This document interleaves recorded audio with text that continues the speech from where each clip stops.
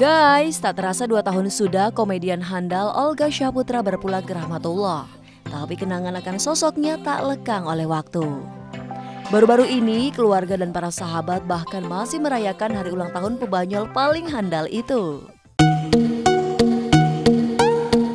Banyak yang dikenang, dan Cumi Tovi merangkum lima hal yang paling dikenang dari almarhum Olga Syahputra.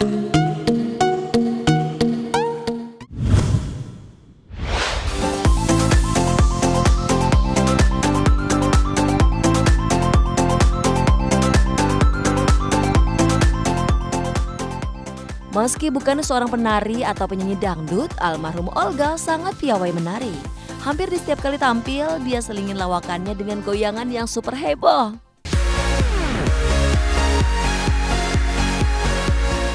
Dia bisa meniru goyangan Dewi Persik, Rio Macan, dan goyangan Inul Daratista dan semua penyanyi dangdut.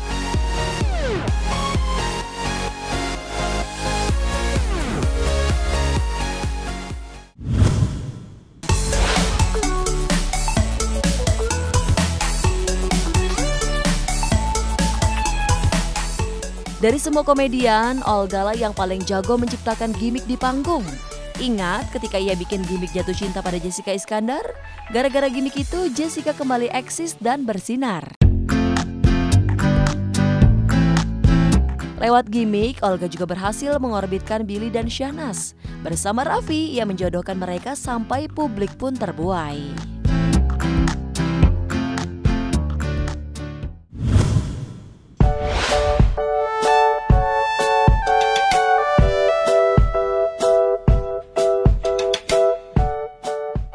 Dengan pekerjaan yang nyaris tak pernah putus, Olga layak jadi artis terkaya di Indonesia.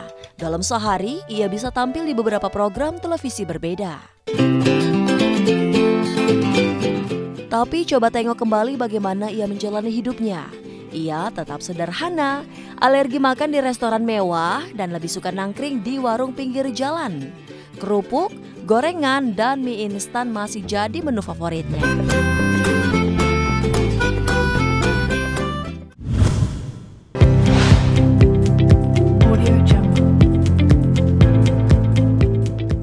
Meski bicaranya nyablak dan terkesan tak bisa menjaga perasaan lawan bicara, namun Olga begitu dicintai para sahabatnya. Kenapa? Karena dia sangat setia kawan.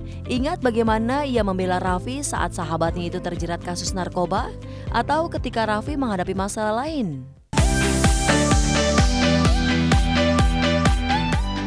Karena setia kawan, Olga juga sering jadi tempat curhat bagi para sahabatnya seperti Jedar, Jupe atau Kartika Putri.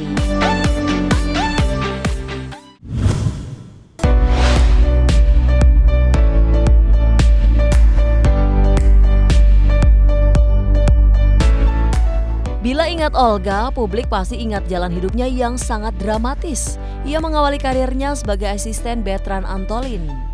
Bertahun-tahun Olga hidup di kos-kosan sederhana.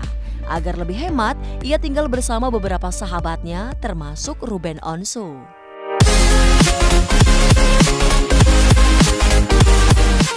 Takdir kemudian mengangkat martabat Olga hingga akhirnya ia menjadi sosok yang sangat terkenal dan fenomenal. Ya gitulah guys, mengenang Olga seperti nggak ada habisnya. Semoga dia damai di akhirat.